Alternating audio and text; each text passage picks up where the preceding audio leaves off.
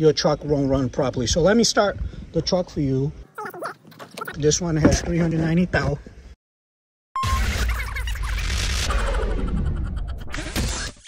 Welcome back to the channel, guys. 96 GMC Sierra with the 6.5 turbo diesel.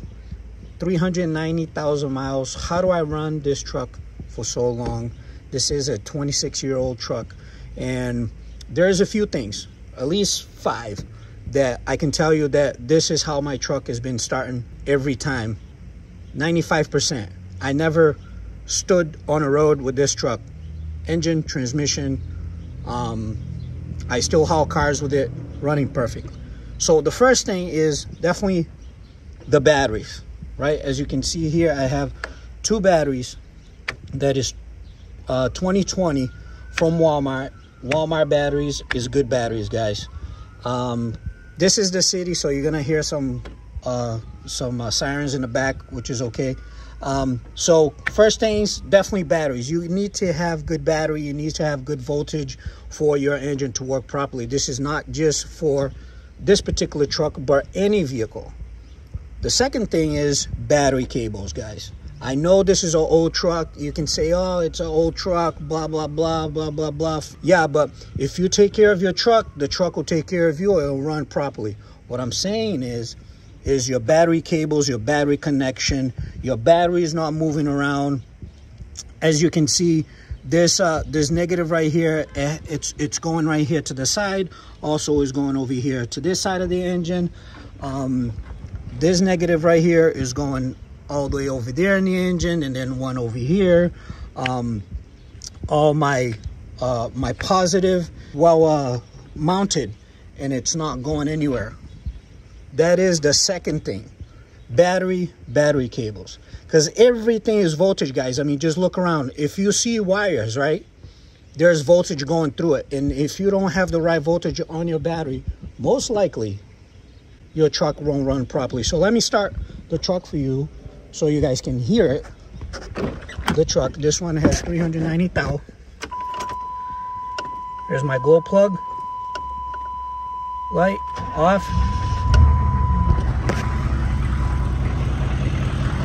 And it runs so good. Hear it. It runs so good. 26 year old you have the right batteries, the right size, what the manufacturer calls for, and the right cables, the right thickness, and, and you know, properly mounting and make sure that there's no corrosion, right? So let me let me shut it off so I'm not talking over the engine running. The third thing is engine oil, guys.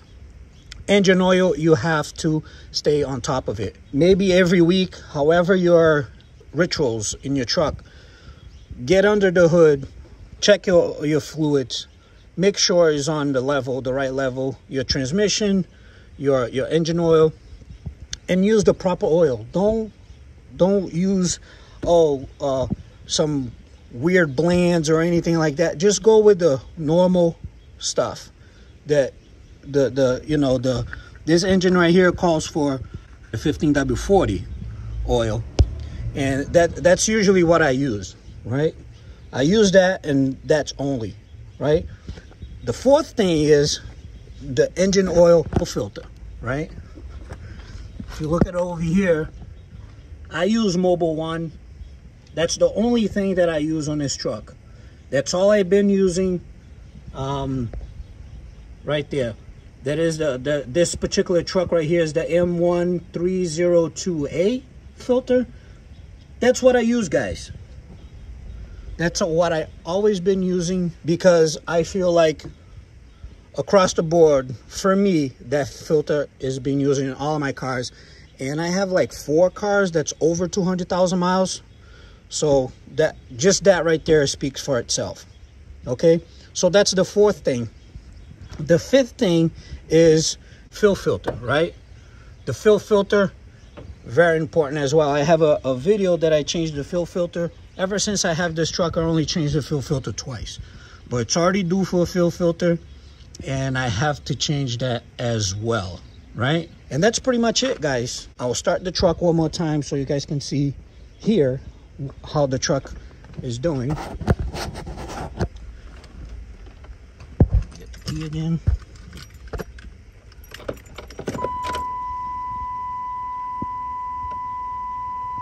I mean, it's running perfect.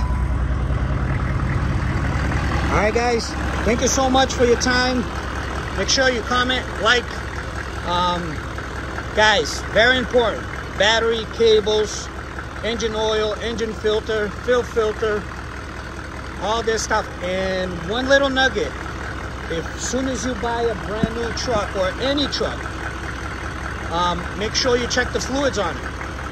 Check every fluid, check the differential fluid, um, and, and, and, and, and you will see that you're gonna have a truck uh, that will last you for a long time.